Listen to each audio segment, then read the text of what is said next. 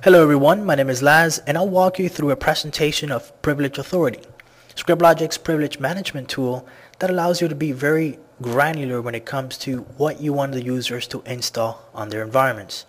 Now the ultimate goal of the application is to completely eliminate local admin rights and create rules that you can go ahead and use your GPO to target particular end users and allow or elevate privileges. Now since I'm here looking at several GPOs that I want to use, I want to create maybe a basic rule for the Los Angeles GPO or group of users.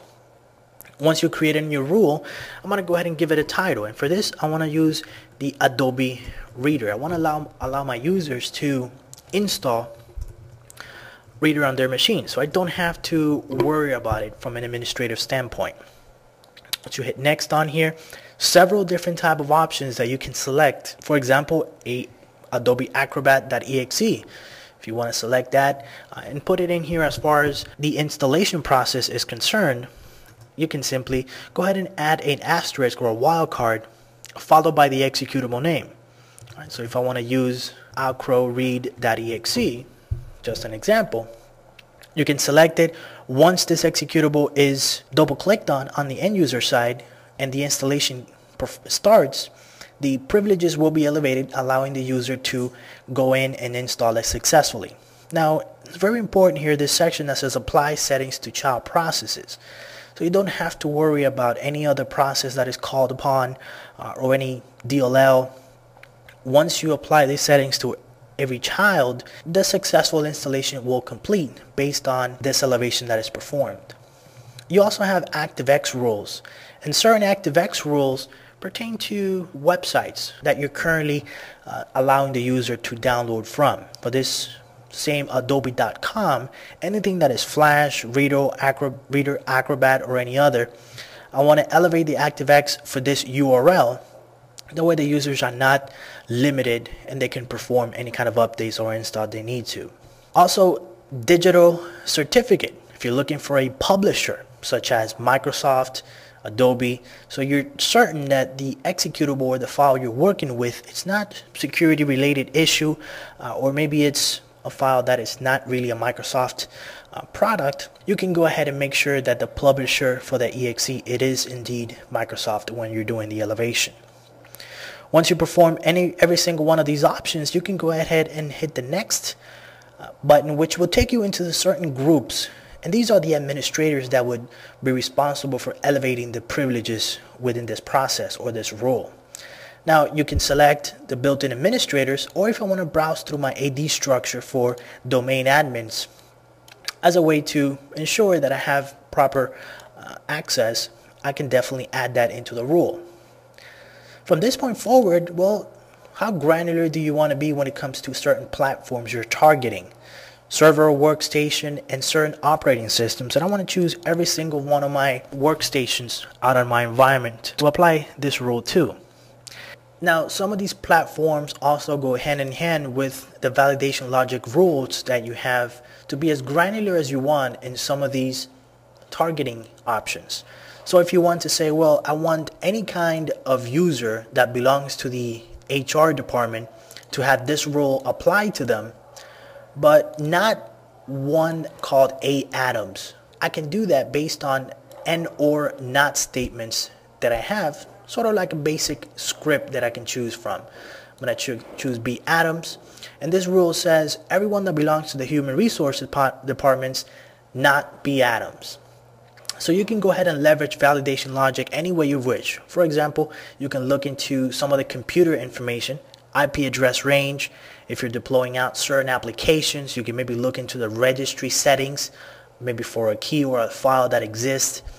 Uh, that way, if it already is in there, you don't want to deploy it on top of it, you can also customize your validation logic to show you that.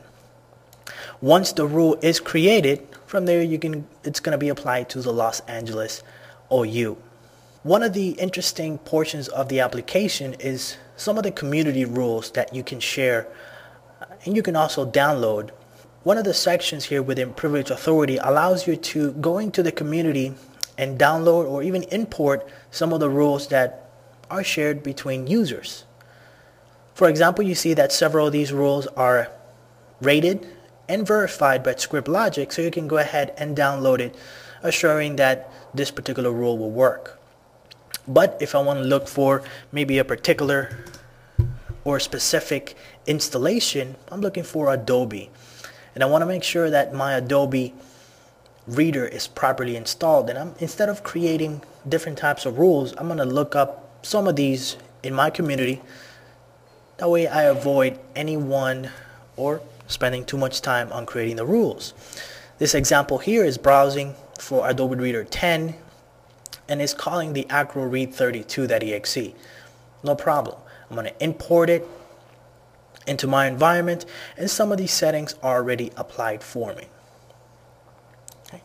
Once I do that, I can go ahead attach it to any GPO that I want and now the rule is created and attached to one that I specified. Within the application, you have several reporting capabilities that allows you to keep track of activity that's happening. So if you want to see what some of your administrators are doing, what kind of changes they're uh, making onto the PA privilege authority side, you can run several other reports. As far as the activity is concerned for this environment here, well, the I to install iTunes rule is currently being applied to A. Baldwin on client 7 machine. I have every single one of these details as well as when was the last time that was performed. Can export any one of these reports to PDF or HTML as well as, well, what kind of deployed privileges do I have in my environment here? I have two rules. These are the computers that are using it and the number of times. That way if you want to have tracking for utilization on the end user side, this report will be uh, providing that information to you. And then finally, some of the rule configuration. I want to know everything that's configured on my environment when it comes to rules and every detail of how the rule was created, such as what kind of admin privileges are needed to create the rule, as well as any validation logic that's attached to it. Right? I'm looking at the Windows XP and Vista machines, and these are the rules attached as well. If you need to go ahead and download or ask any questions on the community, within the application you have a way to share rules and get tips on the privilege, privilege authority side. And this particular website allows you to ask any questions, any particular rule that you're using. Maybe someone has seen or has experience working on a similar scenario. Go ahead and post any question you like. And for the most part, our technical support team and the group of systems engineers will walk through this and answer any questions throughout the community. This is Privilege Authority, and I'd like to thank everyone for watching this presentation.